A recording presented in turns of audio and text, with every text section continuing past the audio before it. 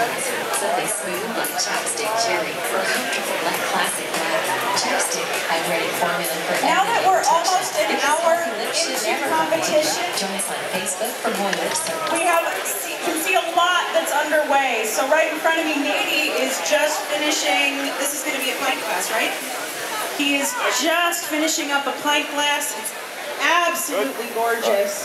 And uh, you can find Nady's got a couple of these glasses on sale, similar glasses, at his booth at uh, Best Bead Show, or you can bid on the complete set by hunting for Patty right in front of me here.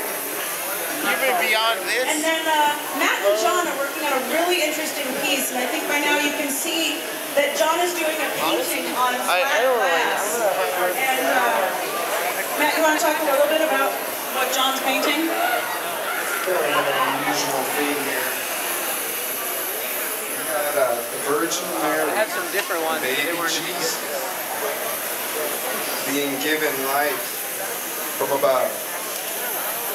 I'm just gonna end it like that. You have to take a closer look to figure it out for yourself.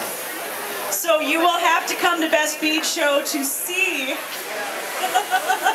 the stork in this painting. It's absolutely beautiful. Flame work reverse glass painting. And Matt, what are you working on here? Um, currently, I'm working on the, the frame, making a three-dimensional frame to uh, uh, showcase uh, John's beautiful work here.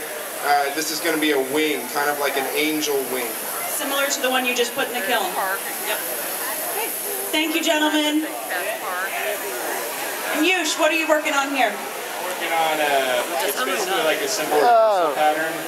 It's like 60. it's pretty Oh, and it's going to be for the end of this disc that's going to be a glass with a glass and glass uh, top on it. Excellent. Sounds awesome. Thank you, gentlemen.